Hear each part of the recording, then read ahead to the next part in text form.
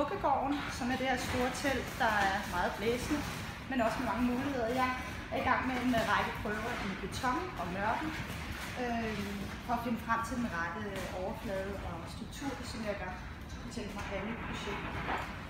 Og bag mig er jeg i gang med nogle prøver, som jeg arbejder videre med, og her lige foran er jeg øh, i gang med stød.